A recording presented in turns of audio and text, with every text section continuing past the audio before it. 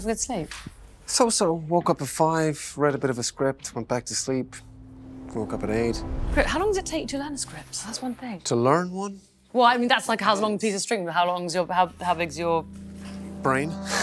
uh, it really depends, you know. It's something over time that I imagine you get better. I mean, I tend to read a script about 300 times. What? You know, just that's kind of like the, I don't like, that's kind of my process of getting ready. And, you know, so when I arrive filming on day one, I like to know the whole thing off. A lot of us have forgotten that you're your trade, if you will. You're an, an actor. I am. Yeah. I am. I've got to go back to work. yeah. But you've imag- like you've managed to take be part in two films in the space of what a year. I don't know how the like the time span works out. Well, actually, since 2019, I shot three films. So essentially, the racing season for me would be beginning of April to end of October, and then I have that window from November through to end of March to do any shooting that's available. So would you say that your childhood dream has always been to become an actor? Well, I mean, my early childhood dream, of course, was, you know, racing.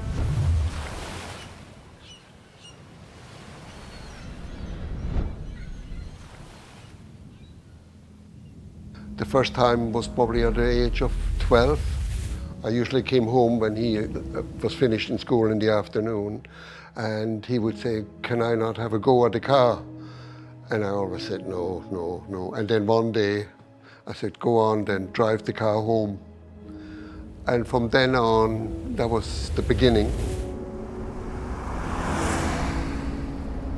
We sort of lived in um, uh, right beside the Hotel Europe. There was kind of like a long horseshoe road, and that is the road that I learned how to drive on. And my dad just sort of let me drive by myself on that road. I think he, uh, he got a good handle of the car. I was always um, really, you know, obsessed with cars and, and used to watch uh, primarily, I guess, Formula One with my, with my grandfather. And I found it quite boring, you know, uh, in the early years, just the, the sort of cars going round and round. And then later years, I really got into it.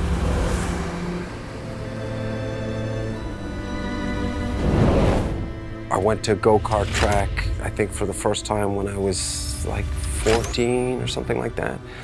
And it just felt like natural to me. But we never had enough money to go and compete or get into the sport. But it was always a dream. It was a far off dream. It was one that would never you know, happen.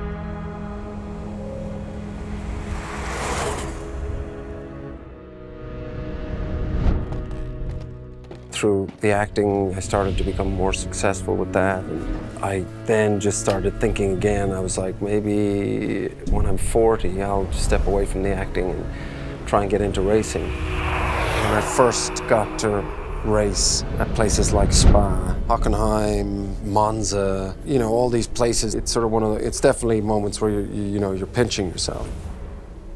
Always the first time I sat in a, a racing car, just that aspect alone, I was thinking to myself, wow, this is, this is kind of, you know, incredible. Obviously, the pinnacle of GT racing then is Le Mans. And as an amateur, it's the highest challenge I think you can have in racing, for sure.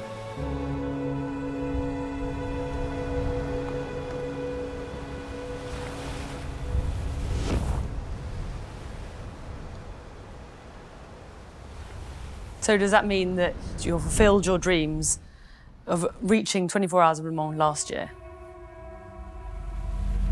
Welcome to the Circuit de la Sarthe for the 99th anniversary running of the world's greatest motor race.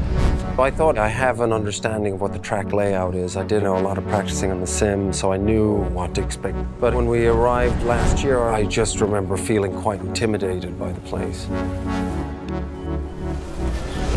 Wow. Sunday, I just thought, you know, take it easy. Again, I'm quite overwhelmed by the place, but the Sunday went really well.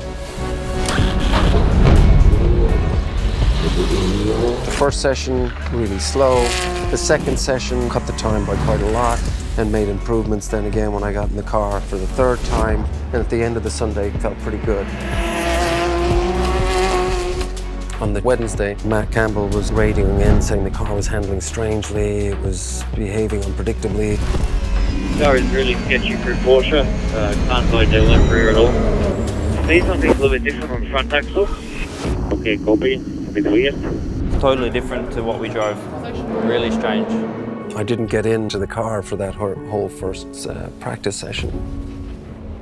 Then I was thinking, well, you know, this is like valuable time. You don't get a lot of time, obviously, in Le Mans. I was starting to panic, and I was like, well, I've got to get out there. I've got to get out there. Maybe I should go out during the qualifying and just get some laps in. Is there a world where I can go out in qualifying and do some laps? Yeah, it's possible, yeah. For the qualifying session, it gets a lot more intense, and it was apparent to me immediately as soon as I left the pits. Watch this. And he's got cross curves. Is that a Porsche in front of him? Yes. Is he going to get out of the way? He doesn't know which way to go. He has to get around the outside. Definitely lost a bit of time there.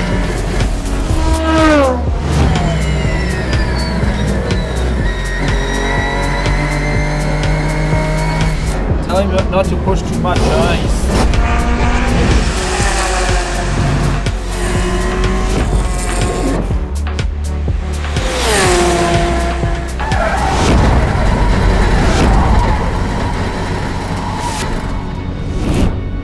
An accident. I had a big accident. I felt like, uh, you know, an idiot, and I knew I'd done a ton of damage to the car.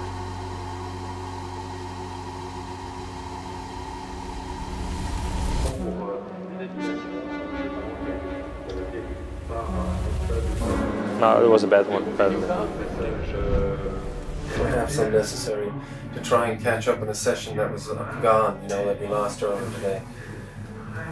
It doesn't like excuse for me whatever I did at that braking point, 10 bars extra pressure, too much, whatever happened there, I don't know, I'll take a look at it.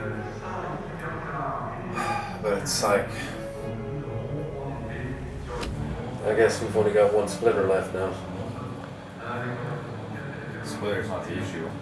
Chassis, it's gone. We're out, finished then. Oh, we have a spare car. And the mechanics went to work, worked through the night, built the car back up. But I was just emotionally and mentally not solid.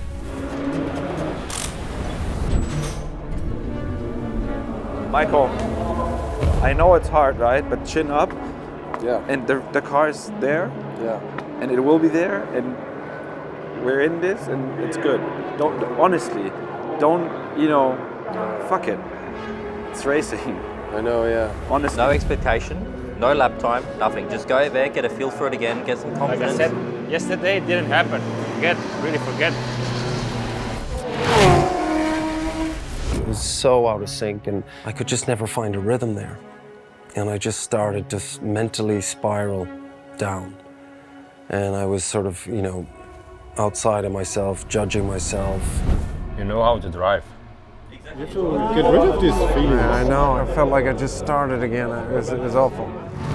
As the week progressed, a- and when we arrived on race day, I was definitely not in a, in a good mindset to take on that challenge. Here we go.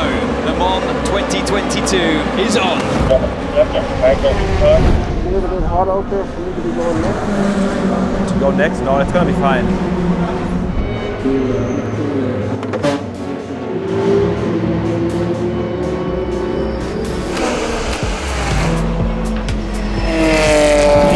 Have the Pro, so just find your own rhythm and do your speed. Okay. Then I had to try and find a way to reset my confidence and sort of clear the accident from my, my mind. And I never managed to recover for the whole race.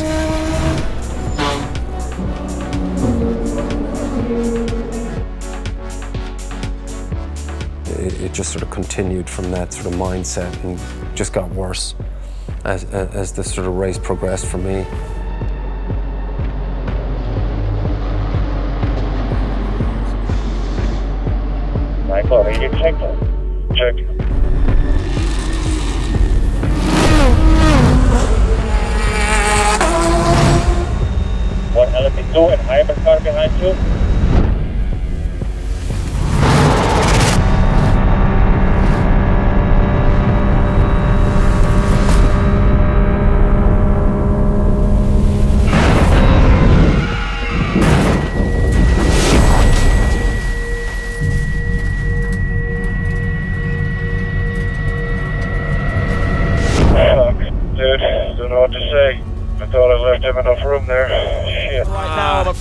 In the barrier once again, Michael Fassbender. It looked like Michael was trying to give as much room as he could, trying to drive off the track almost in, in avoidance. Just trying to come back very, very slowly to the pit.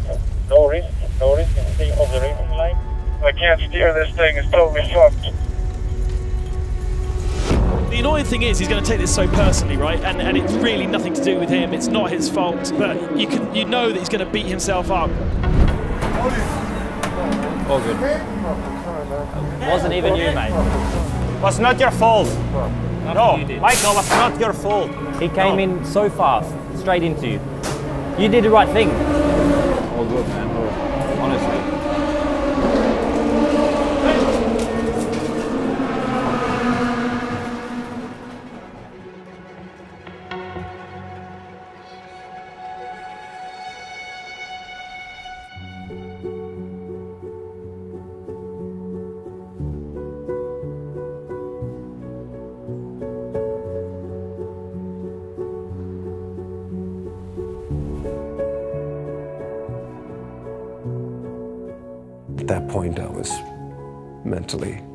Gone. It really did crush me. It, it was like one of those pressure moments in my life where I felt like I didn't manage to punch through. The pressure definitely got the better of me.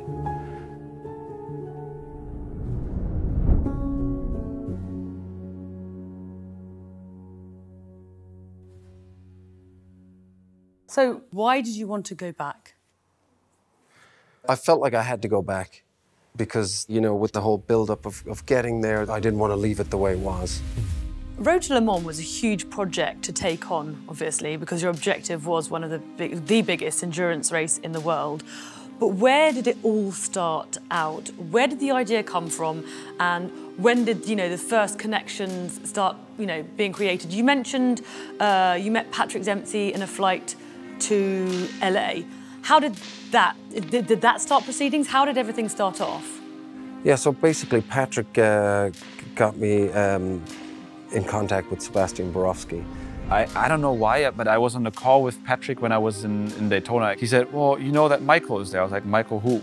And he's like, Michael Fassbender. I was like, Well, no, I didn't. So he's like, Yeah, um, go by and say hello to him. And I was like, What do you mean, go by and say hello? And he's like, Just, you know, say hello from Patrick. And I was like, God damn it. Because I didn't really want to do it. I didn't know Michael. Um, I heard the name before, but I didn't know who it was. And I didn't even know who I was looking for. I didn't, you know, I didn't have the face to the name. I mean, obviously he was there and a lot of people standing around him. And I was like, hello, um, this is Sebastian. Uh, I just spoke to Patrick Dempsey and uh, yeah, he wanted me to say hello. He basically told me that his big dream is to go to Le Mans and once race in Le Mans at the 24-hour race. And I basically told him, well, if you really want to do it, if you're serious about it, you need to come to Porsche and uh, work with us. And I was like, well, I'd love to. You know, I've always loved Porsche. You know, being born in Germany and just, I've always loved the 911. I've always loved that shape of car. It was always my favorite, like, matchbox car. And then it was about what are the building blocks to getting to that race. So we said, okay, let's go to Leipzig. We have our own track. Let's give him two days with a Cup car and then see how he does. We needed somebody that knows racing and knows, you know, how to drive a Cup car. And so he came up with Felipe Laser. For me, it was just like a, basically like a two days training with like a VIP. Actually, we were surprised because he did quite well. For us, it was always clear that he has to learn a lot of stuff before we make it to Le Mans. And we decided to come back for a full year of Porsche Sports Cup. There was the call into Felipe, it's like, would you be able to do it? And would you actually want to team up with Michael as his coach? Yes or no? And he immediately said yes. Wait, wait, wait. Turn your uh, power. Turn later. One year down. There was so many new things going on and he was just unexperienced. So it was a huge yeah, learning curve and we had ups and we had a lot of downs. Okay, I got a heavy crash.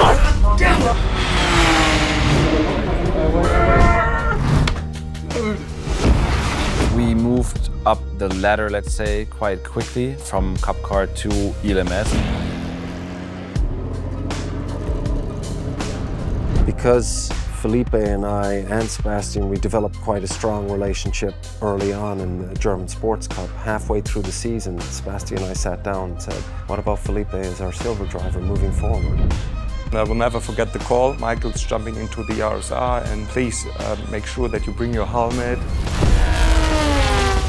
All of a sudden, this was my main thing. I was really like, let's go to Le Mans and just, I mean, it's a lifetime experience. And then we knew we needed a platinum driver or a gold driver. You asked me the question if I want to be part of this program. So I said yes, I want to be part of it, not even knowing what he was talking about. The first impression, everybody liked each other and was sympathetic. And then you, you learn the character in difficult uh, moments. All of that was, uh, was a, a very steep learning curve for me. No, I'm not being impressive. No, no, Dude, no. I'm just being realistic. I'm out of my league. You know, this is such a massive step. That's where I really felt out of my depth in that first season in the ELMS. I think that was basically the first time he really panicked and he realized that he signed up for a project that is very, very um, demanding. It's the Proton competition. That's Mike. Is that Michael Fassbender? Are you okay? Oh, man, that was scary. Fuck, sorry, bro. For sure, there's always ups and downs, and we had that, and we always talked about it and come back and tried to avoid these situations, and we, we worked uh, quite well together. I mean, then at the end, I think it was a quite smooth first season. So I think that he improved in total as a driver. But you know, it's, it's never over. You always uh, uh, continue to learn stuff. And for us, then the decision was quite clear. Let's stick to ELMS, do exactly the same thing. We know the tracks, we know the series, we know how it works. Actually, let's aim for better results. Michael, radar check one, two, three. Check, check, check.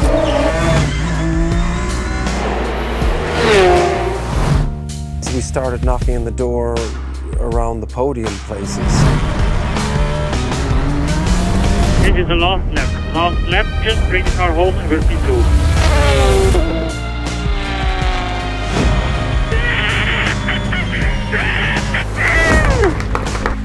Finally, yeah? I just remember a lot of satisfaction.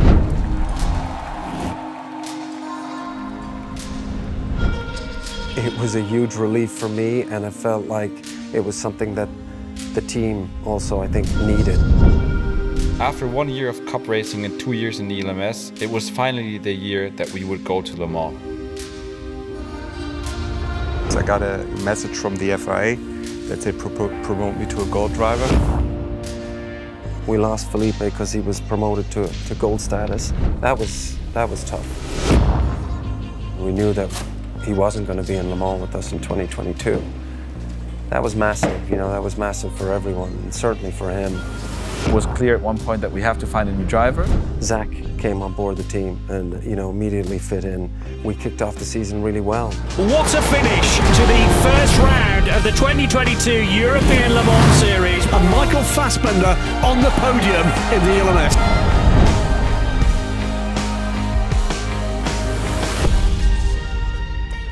It became such a collective journey with, you know, the incredible team that we have from Felipe, Richie, of course, Zach last year. You know, amazing people, you know, giving so much of their energy to me and trying to sort of help me improve. But at the core of it, you feel a definite obligation and the, the four years leading up to it, all of this stuff was sort of weighing on me. So there was a lot of, I guess, expectation um, that I put on the event itself.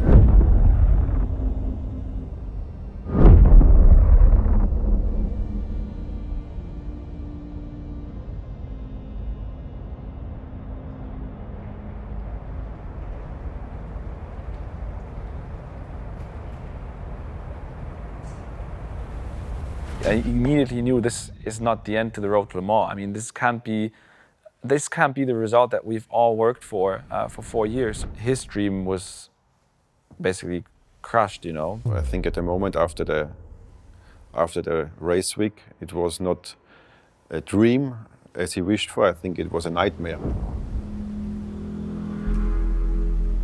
For so many years, it was it was such a, a passion of mine. And then I was thinking, why am I racing? Do I actually enjoy it anymore? So it just turned into something that I never had any perception of, that I never had any idea. It was just so brutal for me um, the experience of itself. There was times, of course, I just wanted to hang my head and be, you know, by myself. And um, there was a lot of support from everyone around, but at that point, you know, I was in my own space and there was nothing much from me to take away from it personally, I felt. Even though we did finish it, I, I couldn't see it as a positive at that point in time anyway, not for sure. At the end of the day, it, you know, really, you go home and you have to process it and find a way to get your mindset back in the right place. I found that I had to reevaluate what the dream was. You know, actually, after Le Mans, I started doing some shifter kart, and it brought a smile back to my face.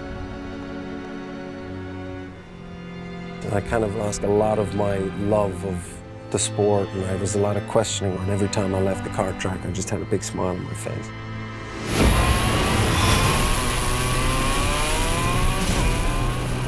You know, we all experience failure, you know, in life, and there's very few that that rise to that top step. So for me, it was just important to not give up and to just keep going, you know, to just to just do it. In any sort of progression in anything you do, it's it's about failing and then failing again better. The, the important thing for me is not to be suffocated. I had to figure it out. It was only me that was going to figure it out, and I knew that it was just something I had to do.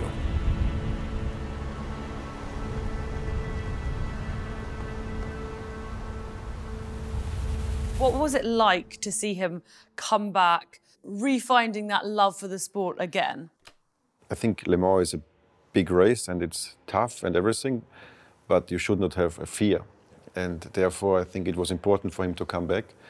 And uh, the motivation to come back was big enough that we, you know, uh, talked to the to the sponsors, talked to the team, and everybody was trying to to do one more year and get him the chance to be back and fight these demons. You know, so I think that at the end, um, once he was over this pain, uh, I think he took quite some uh, motivation out of it.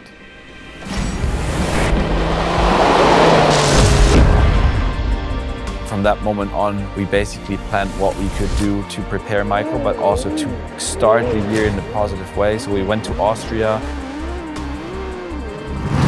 It was just fun two days, driving around in nice cars, having fun without thinking too much about the pressure and you know all the things that we usually deal with on, on the tracks. In 2022, we basically went to Aragon and everybody was like, okay, this is the last test before Le Mans and we have to make the most out of it, but the pressure was quite high. And this year we actually arrived and said, you know what, let's test as much as possible, but you know, let's also look at it as a test. If things don't go our way, let's not panic, um, let's just stay positive. So driver change for Michael. Michael, are you okay? Yeah, turn. Okay, we are comfortable. Oh yeah, turn one is much better now. Nice.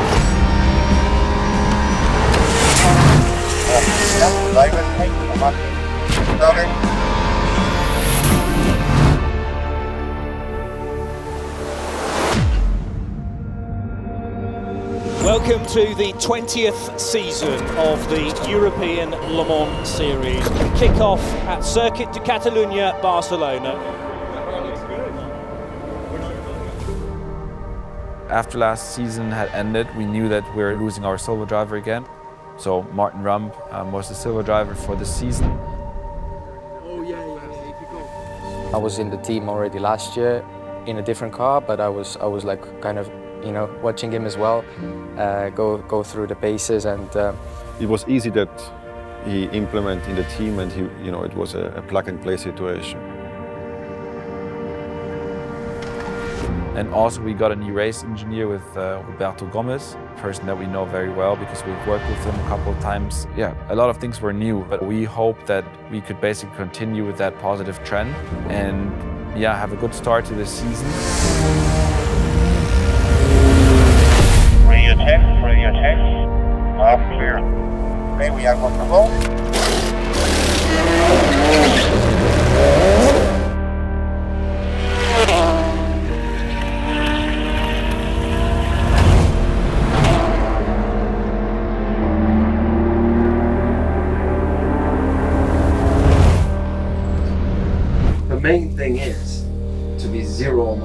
Exactly, yeah.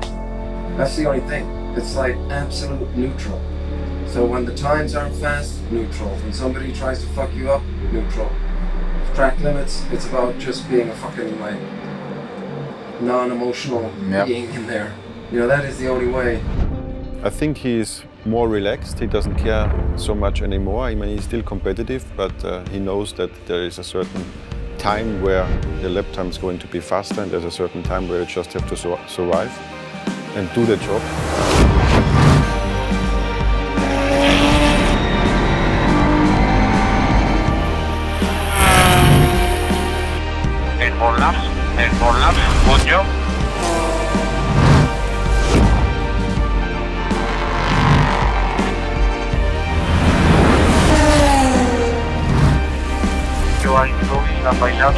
Continue until the end.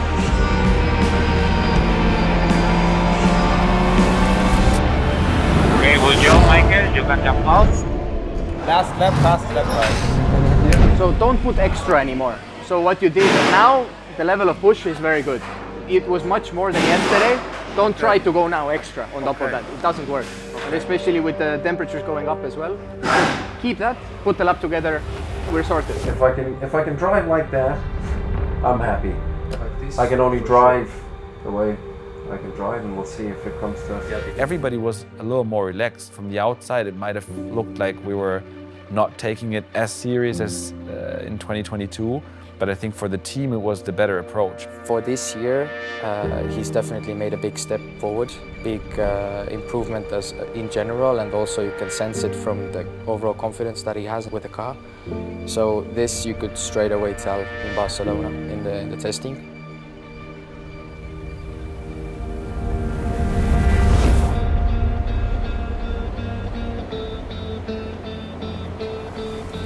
Kick off, as we have done on a couple of occasions before, at Circuit de Catalunya, Barcelona. This is going to be a really intense fight and some unknowns that will be cleared up, Graham. Please clear the green. Michael Fassbender starts the 93 Proton Competition Porsche. Different colours for that car this year. We knew that Michael has the pace to compete in the fastest bronze drivers. And if he brings the car back in P1, 2, 3, 4, our team normally always had the best silver and platinum drivers. So engine up four, engine up four. We need grid position. We need to compact this grid. We need to compact this grid, please. European Le Mans Series though is go. Season 2023 as 42 cars head for turn one. And Marino Sato wasting absolutely no time at all in trying to get the nose of the United Autosports 22 car down the inside of Rui Andrade and Kiffin Simpson by the looks of things. He's got to third position. Vlad Lomko, the 17-year-old, oh, carnage at the back. And that's the Spiegel team Monschau Rinaldi car.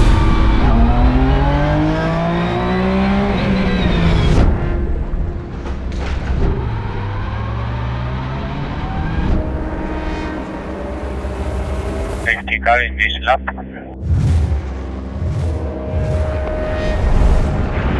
You are P5 at the moment. You are P5 at the moment. Sorry. German-Irish Hollywood superstar then is uh, not very far away from joining this party, which is for third and fourth position in GTE. Fassbender certainly has the pace to be with them, and the vantage point of Michael Fassbender in the Proton Competition Porsche, sitting in fifth place in the category, looking for away buys. Oh, there's- Oh, he there a touch. There There is is a touch. touch from the nose of the Porsche. No, no way through there for Michael Fassbender.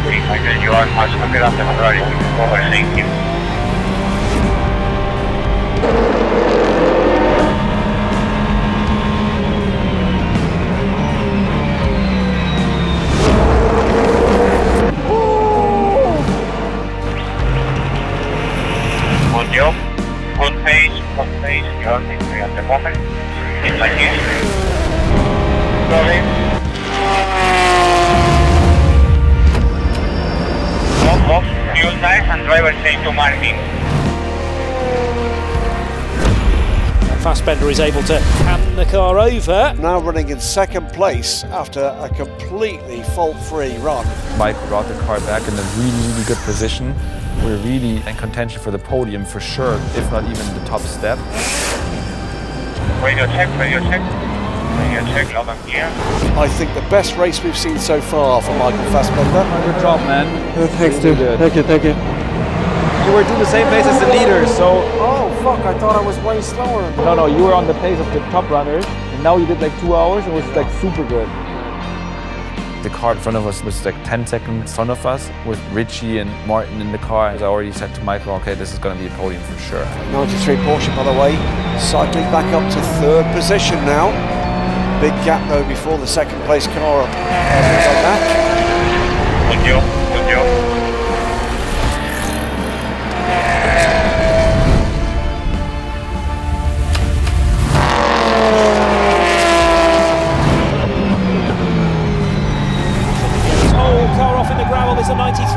93 Porsche from Proton, I reckon. Someone else off. There's two cars Two involved cars there. damaged there. Guys, what the fuck? Yeah, we saw the contact, it was not your fault.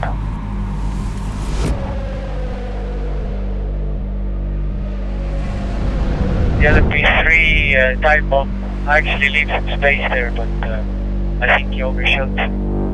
Sorry guys.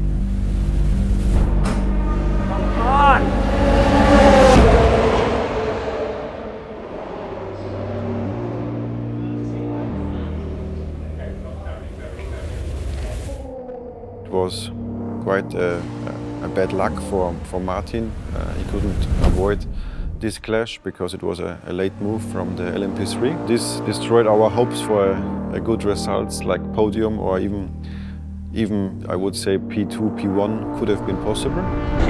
Yeah, sorry. Shit. I Hello. You good job. Shoulder, it's okay? Yeah, they're getting better.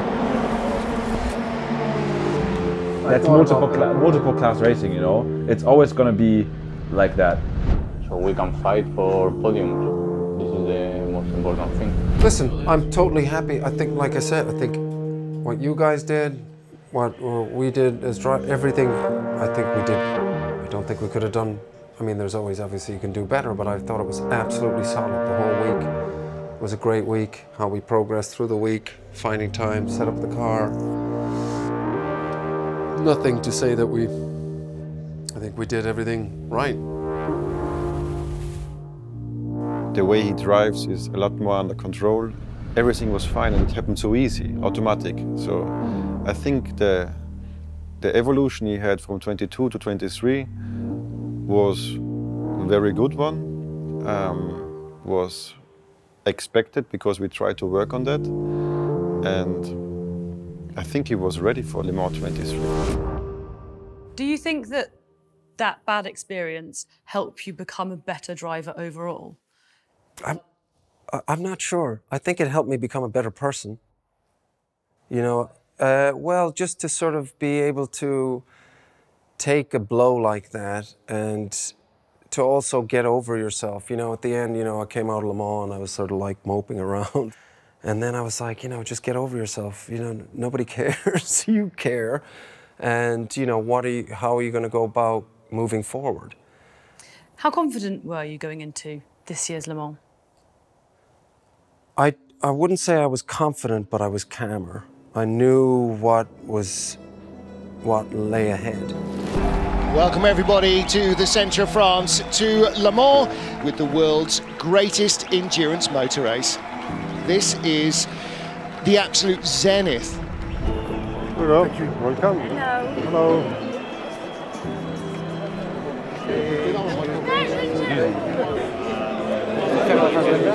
Hello. Le Mans is the big one. Are Yeah. you less stressed this year because you've done it last year or not? I think, you know, I, I'm trying to enter now, like I say, in, in a position where I just, you know, it could be my last Le Mans, so I want to enjoy it. and uh, take the experience from last year and, uh, and try and learn from that. Michael knew the place, Michael knew exactly what to focus on. I knew how to support Michael in a better way because uh, I saw him last year. I knew what, you know, what helped him and what really distracted him last year. Mentally, I found it uh, very challenging, uh, perhaps one of the most challenging things I've experienced. Are the butterflies still here? Is it still buzzing? Absolutely. I mean, um, you know, there's there's always nerves, but um, perhaps a little more contained than, than last year. Kind of because you know what to expect that was ahead of you, perhaps? Yeah, I think so. He has learned from his mistakes. I think he reevaluated a lot over the, the break and really worked on his on his mental um, capacity or mental strength. I'm just trying to stay sort of mentally focused and positive, knowing you know what, what the actual race has got in store for me, and just enjoy it. You know, this could be my last Le Mans and I just want to make the most of it. And, uh, and it was important for me to come back, you know, after last year and the experience I had. I was just thinking I have to go back and perform the way I think I can perform, because I don't think the performance I did last year did, did justice to myself.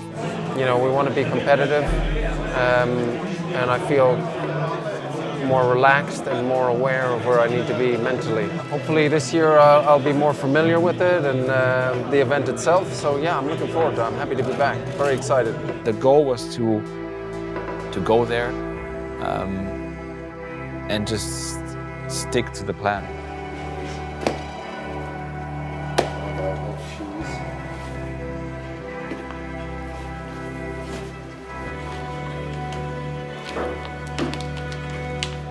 Make a smooth race week, to be ready for the race start, to have a good car balance, to you know stay relaxed, to have Michael in the mindset of you know not having any pressure. This was the ultimate goal. Happy? Very happy. I'm very happy also. Yeah. And this time is everything is under control. Things Martin, will get out of control yes. as always. No, no, But no, you no. know what? It's all good. Everything will We're be. here to enjoy it. This is the most important. You need to enjoy, and, and if you enjoy, everything else is, is under control. I told you, we are here from Wednesday, so we check 100 times everything. The interesting thing about Le Mans is you arrive on the Friday, the week before the race. Then there's a lot of sort of media stuff to do, drivers briefing and whatnot. You do the track walk, the test days it's Sunday, and then Monday and Tuesday you have other obligations to do. You're back in the car on Wednesday. And the days you're actually driving are the less tiring days. If Le Mans gets in your head and you are uh, not able to, to focus yourself, it's easier to make mistakes. You are not relaxed, you care too much, and all the little stuff is going to be an issue. It's all the other stuff that pulls you here and there that kind of um, can be quite exhausting. So I knew that I had to manage my energy. Welcome everybody to Le Mans for the first on-track action. So the plan, Richie first, then you, five and five laps, and then Martin, Martin, and you at the end for another six. Okay, Richie, we push the car outside, we bring the tires, and we go for two laps. Two laps. Copy. The start of the weekend here at the Centenary Le Mans 24 Hours.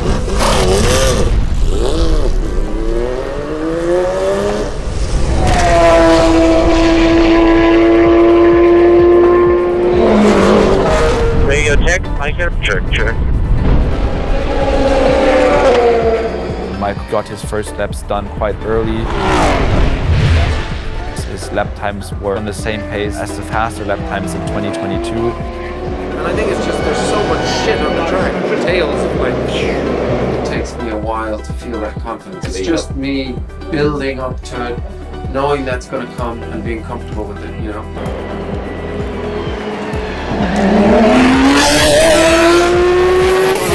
Hit the first Porsche, the left. I'm nowhere near. I think it's because of low grip. Yeah, yeah. Like uh, there's no grip on the track. It was uh, natural development of the track, like always, so excited to get better and better.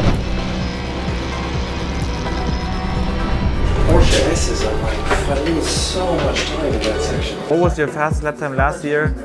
405 and now you did a 409 I think. Porsche corner is the place where you are losing more time. Porsche corner and Mulsanne, the braking. So you need more laps. I know, yeah. No problem. In the beginning of the week, the times were definitely not great. Still four or five seconds off his, his actual goal.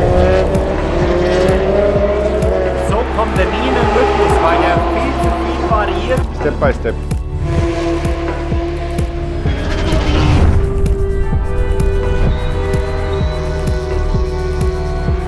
It needs to be a consistent, continuously same rhythm.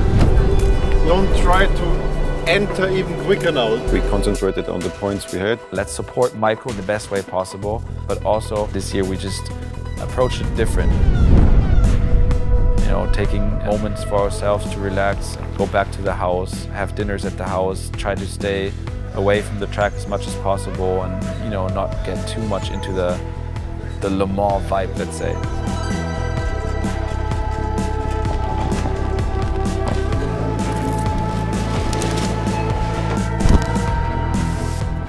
We weren't there yet, but this year we just didn't stress about it and really took it day by day.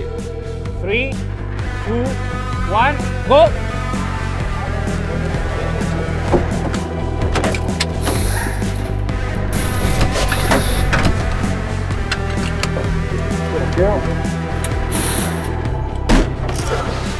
Ah, balance is pushing. No, it's better to lose a second there. Exactly. So for tomorrow, first session is from 2 to 5, then we have the qualifying, and then after the night practice. Well, hello everybody. The cars are about to go out on track for the free practice, and then we will get into qualifying a night practice from 10 till midnight. We do one installation lap, we box, we check that everything is fine, and then we go for 13 laps. On the Wednesday we came back and actually it was much better than 2022. So we change the splitter, we put the medium, and then if we need, we come back with the splitter and we continue with the medium. I have a lot more trust like this, so it's for sure easier for my. For me, it's this one. Our car really drove good from the beginning. We had a very stable rear, we had a car with a quite good front.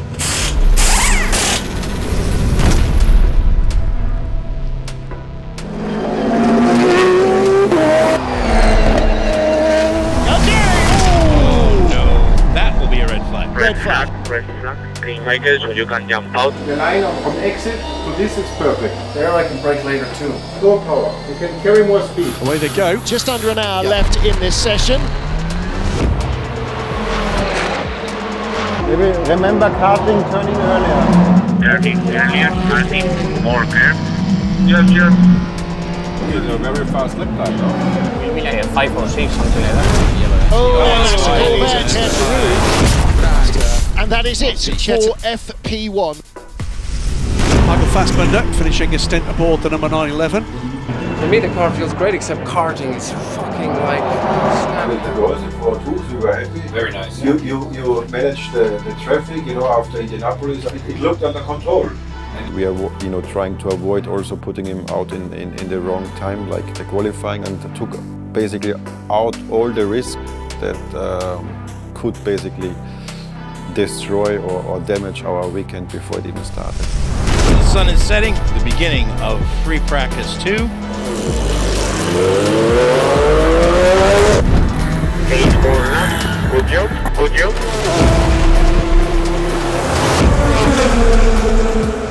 Hier 05 Laps und so. Super, ja, ja. All in all together, it will be a 4-2 or 4-3. Thursday at Le Mans, and we are deep in the middle of practice for all the cars, the 62 entries. When you keep that rhythm, the time will, will come further down.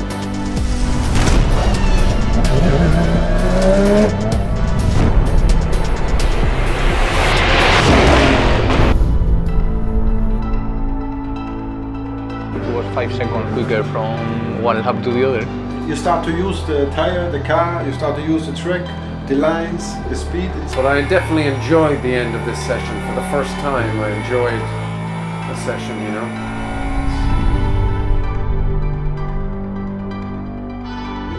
we were there. We had a, a good car, a good team. We had uh, Michael in a good rhythm. So I think it was a very smooth um, approach and also a very smooth start of the week. And I think I never had uh, any smooth start like this for Le Mans.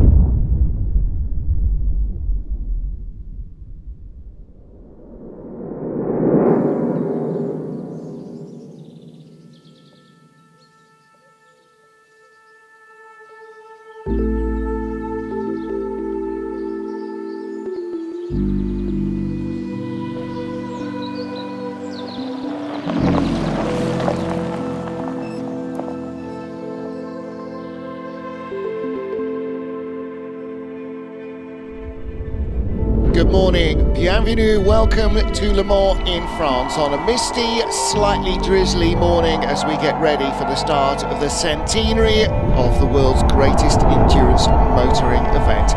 Look at the crowd. Yeah, that's fantastic. The biggest day sporting crowd of any event this season, more than 300,000 people packed around this eight and a half mile racetrack.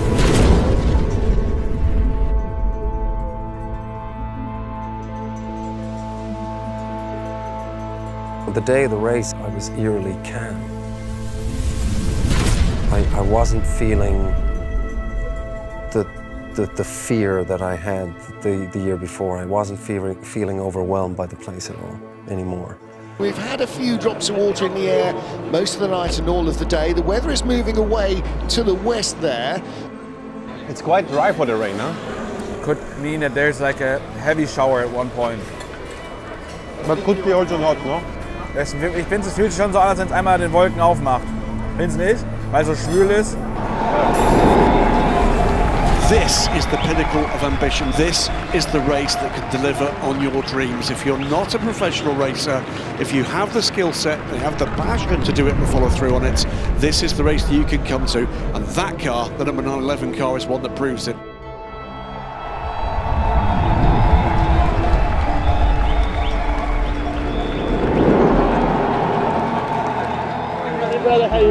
Feel? Good, man. Yeah, good. feel good. I just, you know, had to come back here. I feel like calm as well, like a weird calm. So let's see. Like I said, I'm here. That's the main thing. Let's see what happens.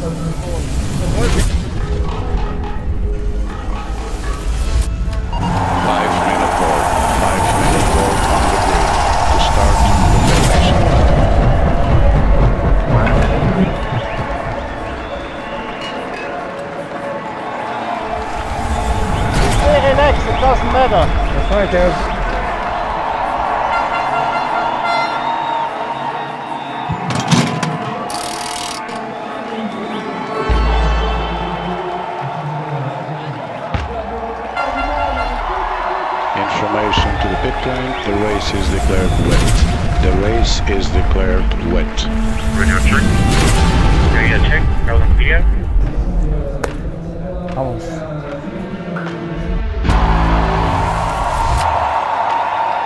Green flag waves. Start of the formation line. One formation lap. We are getting ready for the start of the centenary race at Le Mans. All cars to assume grid positions. Let's close those gaps. The centenary of Le Mans 24 hours.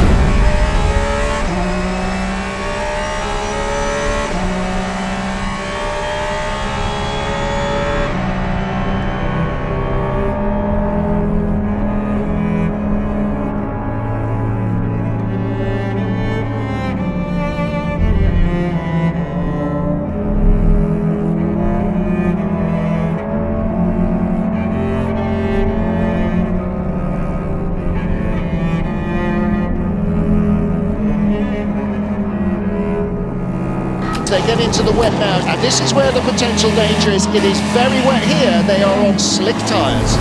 Oh, there's a barrier there. It's a 311 into the barrier on the exit of first chicane. Crash, crash. The first chicane. Go through, go through.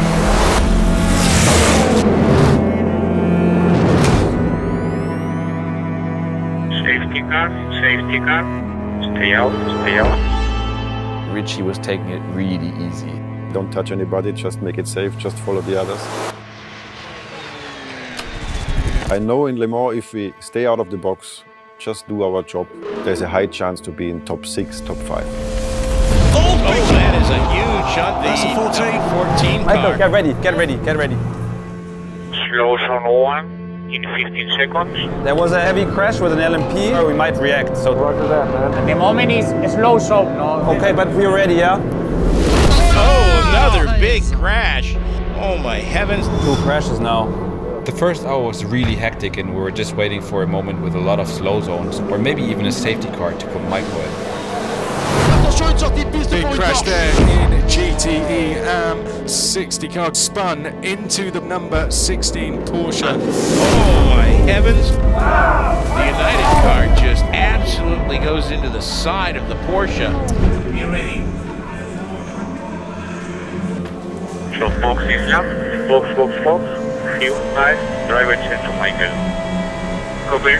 The plan was always to give Michael seat time early on in the race so that we could take off time of his minimum driving time, which is six hours, to be flexible with the, the strategy and the end of the race.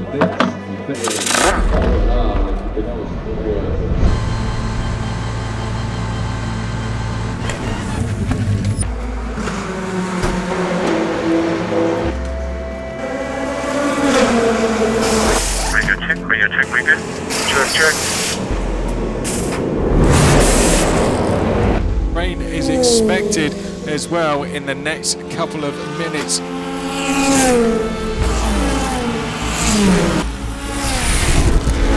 That uh, in about the next two minutes, there's supposed to be rain arriving at the Porsche curves, and is that it's starting to sprinkle in the pits as well. We need to tell Martin to be ready. So as soon as it's raining, then we go, yeah? Okay, I'll be, I'll be ready. Yeah. There is a chance now of rain, so in case of rain, we'll be again full pit stop and driver change to Martin. Yeah, but like worst case only, yeah. But if it's raining more, we stop. If we have to stop for tires anyways, right? Yes. We're getting reports of rain at several parts of the track. This is going to be making these poor guys crazy for the next 24 hours. First time I went through, it started spitting down. There was still grip. We all hoped that it would just be a quick shower and that Michael could basically survive that. Take care, Porsche corners, and not Slower, it's very slippery. Start to rain up by the Porsche corners. Stay out, stay out, and we'll see this lap. Let's see how it is now. But remind him after after Mulsanne, uh, before Indy, you know, it looked like it's heavier. We are ready in case of heavy rain. We will stop and we will do full, full pit stop and driver change to Martin. And at the moment, stay out. When it rains at a certain part of the track and the rest of the track is dry, you can't really put on anything other than slicks. You just have to try and do your best in that section that's slippy. Richie, Richie, es regnet richtig stark da, guck. You don't need me to tell you, but the rain is coming down out there and more possibly on the way as well. Just let me know if it gets heavy up in that section when I'm coming into it. From one lap to the other, the rain picked up so much and it got so crazy that it was dangerous um, to have Michael in the car. Stand by, crew. In case of more rain, we will do a full pit stop. Martin is ready. So there's the, one of the GTM cars. The Battle of the Cats. How heavy is that rain at Indianapolis? Heavy rain uh, on, now. Heavy, heavy rain in this corner. Next corner is heavy rain. Very, very, very slow. Very slow in Indy. Very slow in Indy. Heavy rain.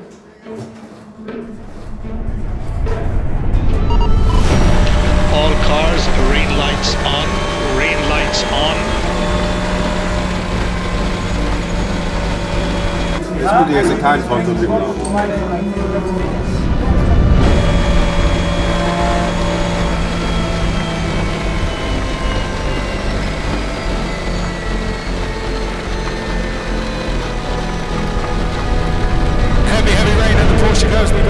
got stranded in there. Kessel Racing went off.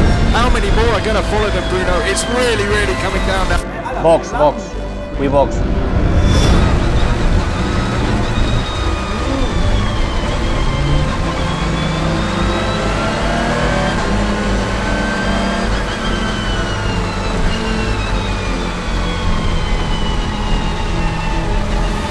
Langsamer Der fahren. ist ja langsam, weil der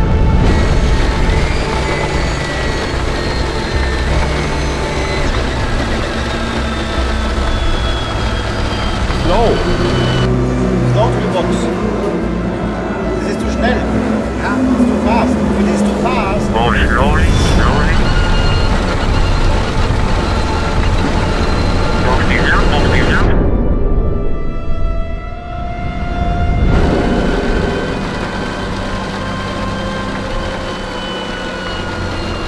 Tell him, tell him, slow, slow, slow. Oh, slowly, slowly. Perfect.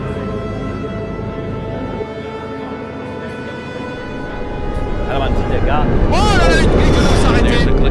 Oh là, oh là, oh là, oh là, oh là, oh là, attention, la 31. Attention, oh là là, Ferrari aussi, mec, qui est parti. euh, incroyable. It's so heavy rain, there are like yeah, yeah, seven yeah. cars.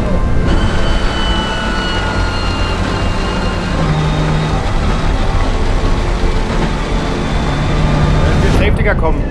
Aber wir brauchen die Regenreifen trotzdem. Sébastien Bourdais qui part de l'attaquer en looping. Et attention, la Porsche du Gir, c'est Scott Dixon. Oh, malheureusement, la Porsche qui tape de l'arrière.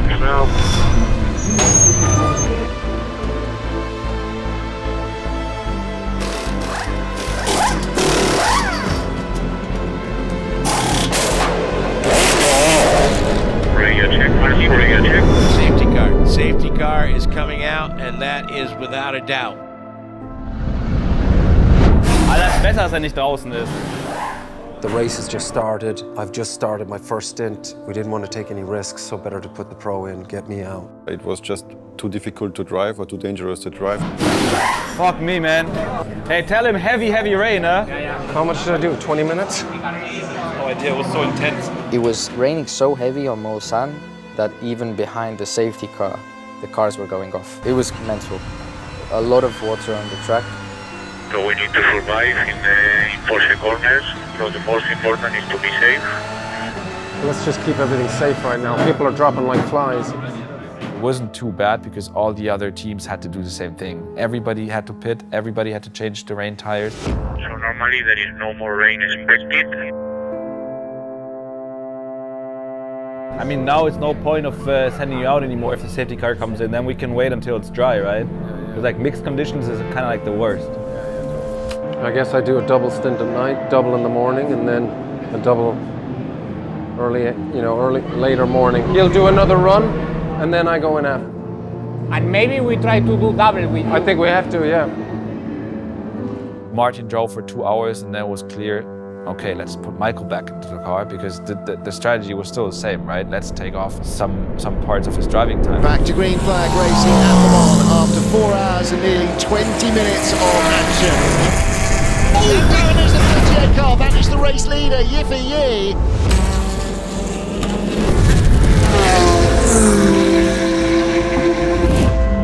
So your next driver will be Michael for a double stint. We go into the night. Box, box, box. Fuel, tires. Driver change to Michael.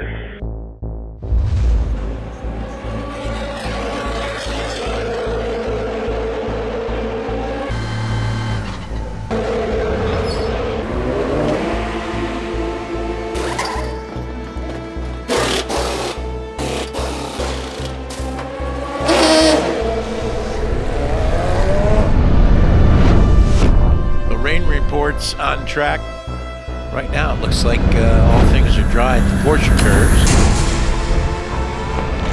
green lights should be turned on. Green light on.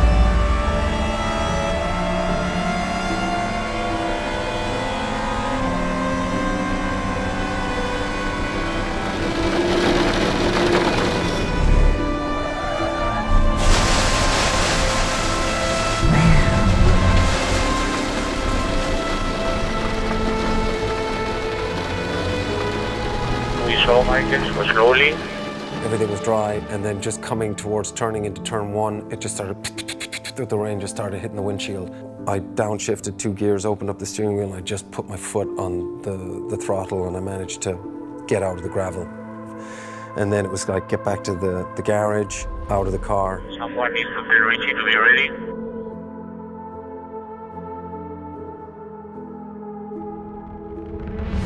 I cannot find Richie. Wo ist Richie? Three more cars off at Indianapolis. Racing Team Turkey couldn't get it slowed down in the conditions.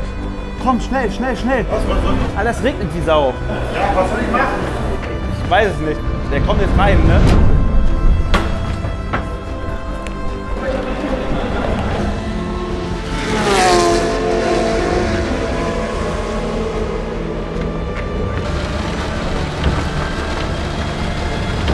Box, box, box. We need to new and team to reach him.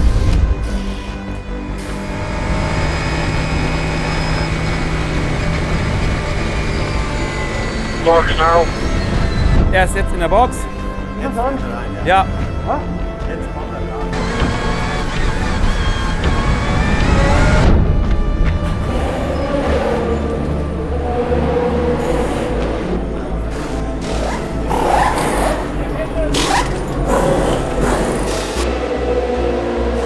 Radio check, Richie, radio check. Driving clear.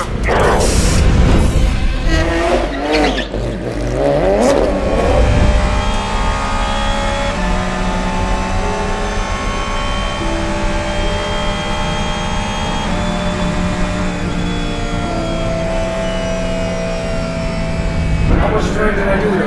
Another 20 fucking minutes? We're now at a total of 47. The bronze driver's minimum drive time of six hours, but I'd only done 47 minutes in those two sort of attempted stints. And then it was, you know, what do we do next? As soon as it's dry, he needs to go for a double stint. So normally it should be better and better, and 3-4 should be 100% dry. So that means three o'clock then, yeah? Well, then you're going back to the container, right? And tell him that he should come over in uh, 20 minutes. He has to be here. Here.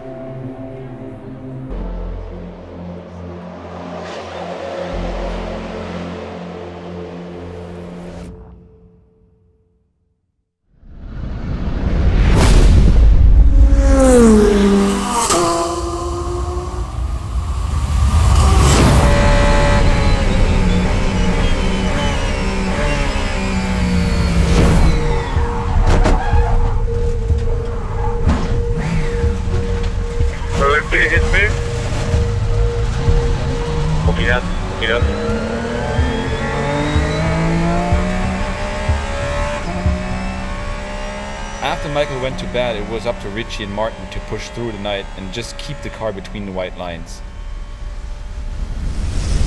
The first thing the real something is broke. The guy so it's favor. Yeah, it's just like this now. Just on the cables. We need to come in because the rear diffuser is completely flat. Look at the diffuser flapping away. Oh, that's the 911 car, isn't it? That's a little bit secondhand.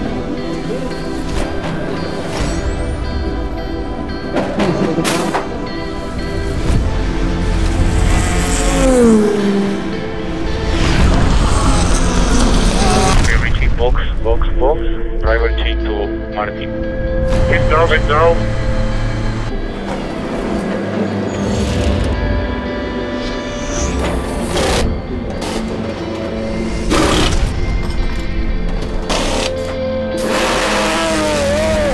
This is the battle for second place in the GTM category.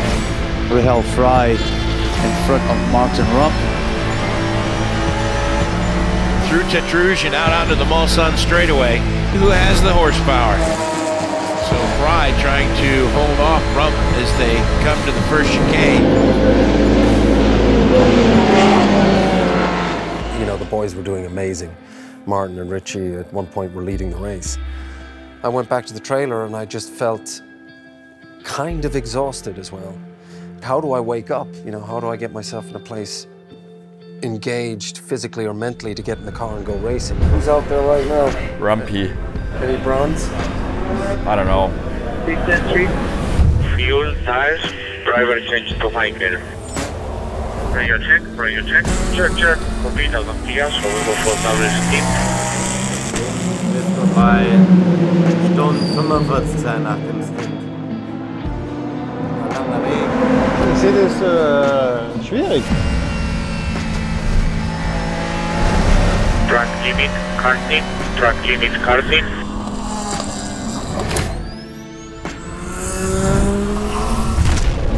At least no rain and it's constant somehow, when it's snow. Times were not terrible, but slow, not great.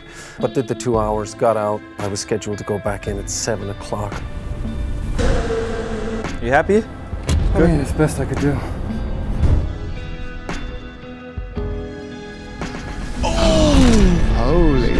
Moly. And the Tota involved in that. Oh, trouble. trouble, for 63. That's big trouble. That's the end of the race for that car.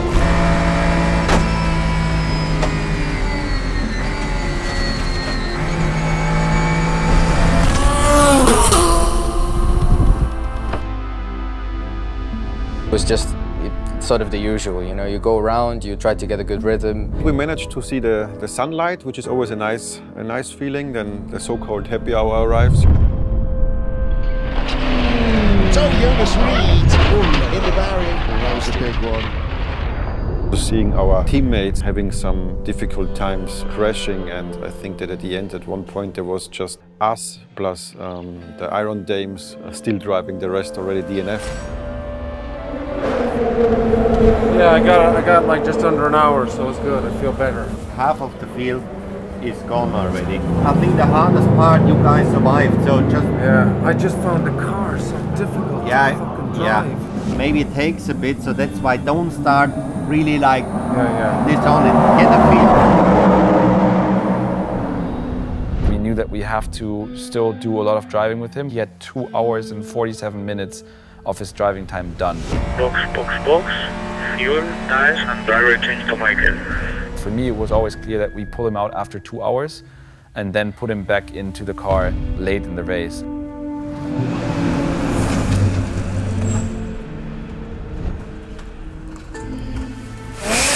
Behind you, fighting for P1 to let them hide. I let both cars by there. Copy that, they are P1, P2. Michelle Gatting on pit lane in the Iron Dames car. This is going to move them back to third position. You can let 185 finish quicker. Yes, yes, yes. They can go by. Tell them on the left.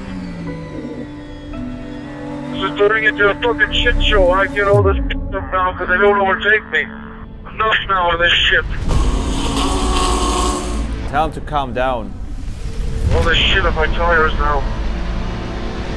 Tell him to shut up and concentrate. It's enough. For the first hour and a half, hour and 20, I started going into that like funk. The times started dropping again. I was doing 408s, 409s. I was like, what is going on? Always, it's not a good sign when the driver, you know, talks too much on the radio because he should actually focus on driving it. Three more now. What position are we? We are P8. Really struggling here with this balance or tires, I don't know what. We need a lot more hours from him.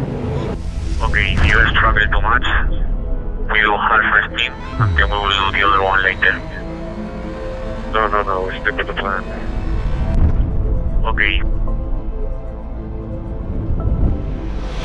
Can't slow the fucking thing down. You see that, right? I don't know what the fuck's going on. Michael is tired, tired, tired. Still two stints. I find it difficult to turn in, and then all of a sudden it's not the oversteer. We do pit stop and you go in the car because I think he's. What are you planning to do? Get him out now? He has Yeah. to fucking concentrate. It's just mental. And Sebastian was like, no, no, you have to do the double stint now. You know, there's no way to go to go out after this one hour because uh, we we have the minimum drive time and you have to do this double stint now. It's just his fucking mental shit. Tell him very strict, concentrate and drive. It's bullshit. It's always the same with him. Stop talking. Tell him. I got really, really mad, you know, questioning the car, questioning the, the setup, everything. And I was just like, just get your shit together and drive the stupid car. Just tell him he's doing good and concentrate, you know? I tell him you are doing good for 11, he will say it's not true. Tell him, yeah, but it's, it's double stint tires. Try to hit the braking points, the apex, concentrate. We need you in the car.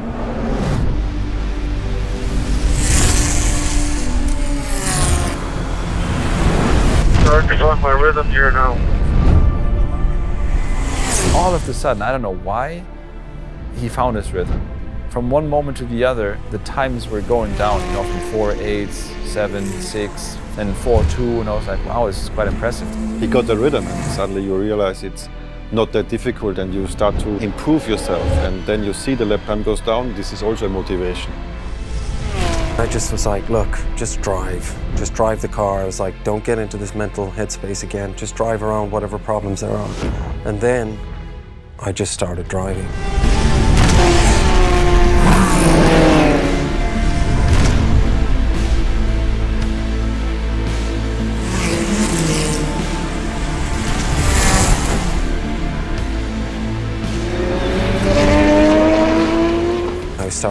Figure out finally the rhythm of the place. I started to find a rhythm and start to understand it. And I was like, now I get it. I was braking at the right places, carrying the right speed into the corners. Can't stay in the car and do another hour. He radios in, I can stay in the car for the third stint. I found a rhythm now. I said, I can stay in the car another hour. I felt physically good. It's good, but on the other hand, it's dangerous because at one point you will get tired and then it's easier to make stupid mistakes. Your pace looks good, but uh, maybe it's better if you rest a couple of hours and then you go again. Yeah, whatever you think, uh, I, don't, I don't mind. We will make this stint as long as possible. We do driver change and then you go again after two hours.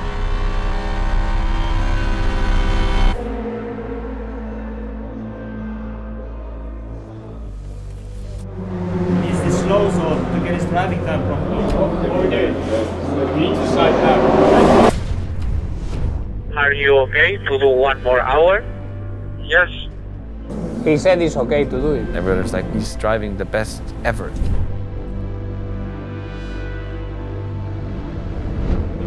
I don't think it's smart to do three hours in a row anyways, but I mean... Hold on, you have to decide now.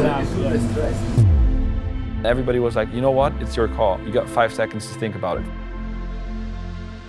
And I knew that he's driving the fastest lap times at the moment, that he was in the rhythm. And I also knew that if he stays in for like the third stint, he's going to be done with his driving time. To be honest with you, I didn't have the, the guts to say, yes, we'll pull him out. I didn't have the balls to make that call. Okay. Fuel and tires. You stay in the car.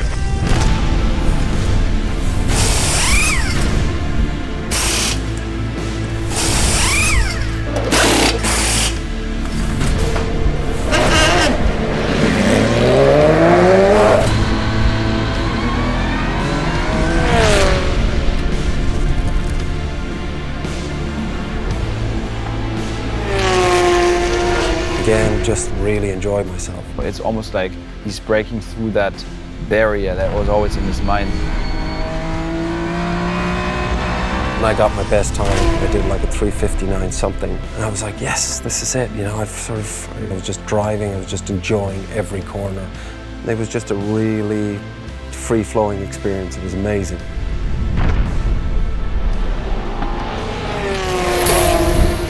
All the sort of work that had gone into coming back this year, doing it, the emotions just started bubbling up. It was, it was, it was a phenomenal feeling. No more truck limits. Reminder, no more truck limits. Warning flag for truck limits. Warning flag for truck limits.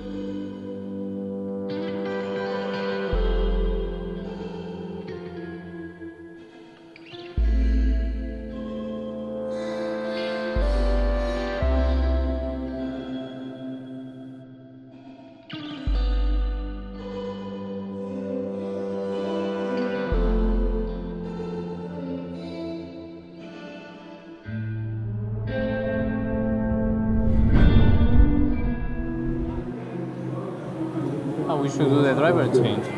Huh? We should do the driver change to Richie and then.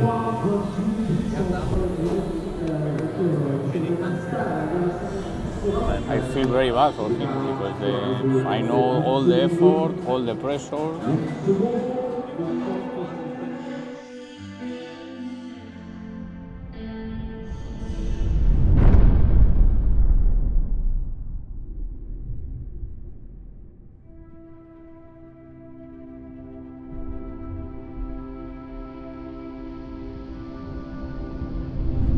Hey, this is so dude.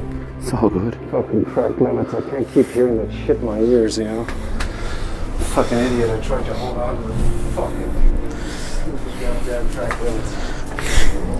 Sorry, man. Fuck. I finally figured out the track, though. Yeah, you're flying, man.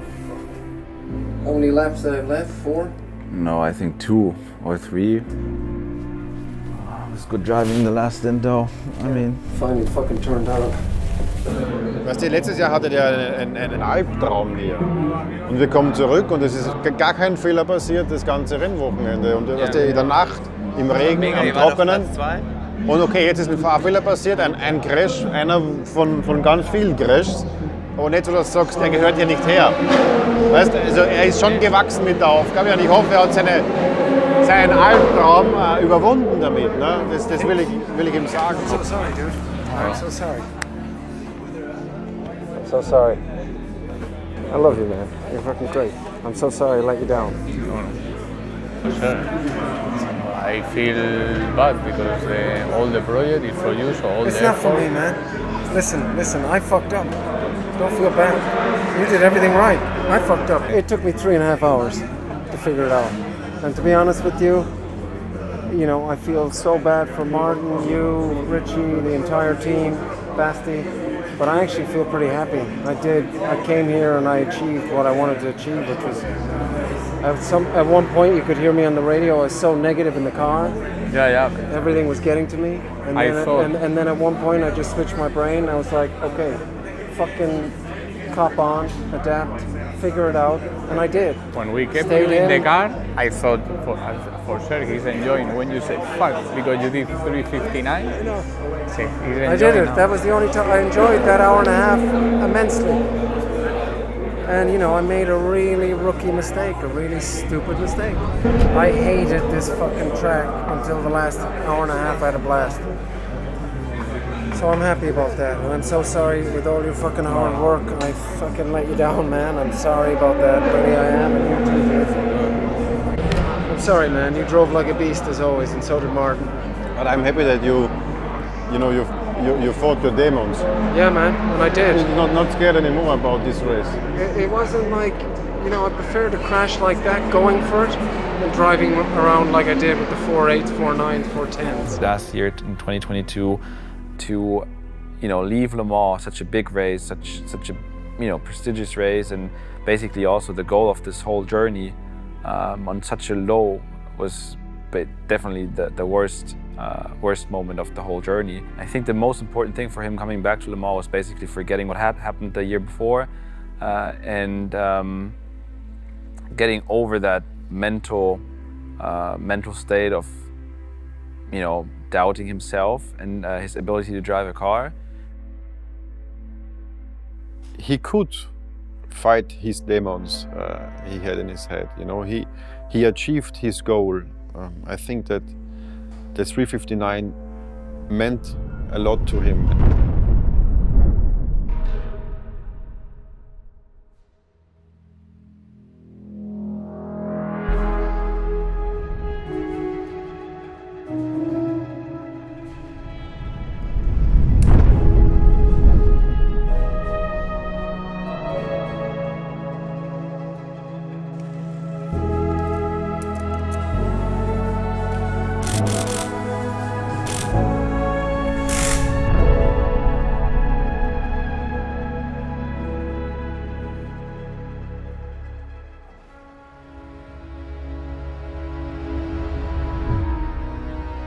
My childhood dream was always to become a racer.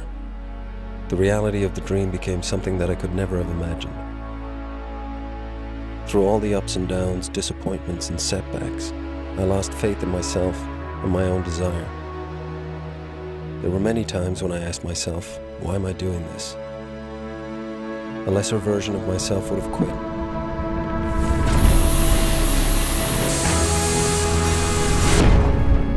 I'm so grateful to Le Mans for teaching me to discover more about myself and to push myself, get back up, and try again. Coming back this year, doing it, there were tears in my eyes. Fear of failure, that's the thing that can be so stifling and one can be so submerged by it.